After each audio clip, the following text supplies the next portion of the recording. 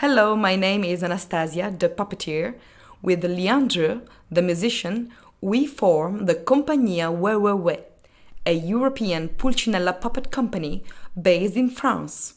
Pulcinella, 400 years ago, traveled through Europe, leaving children like Punch, Guignol, or Casper everywhere.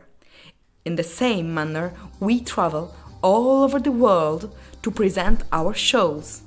We love to perform it wherever and whenever possible to reach the widest possible audience. We play in the street, in theaters, in schools, in libraries, even in your grandma's backyard. So, see you soon!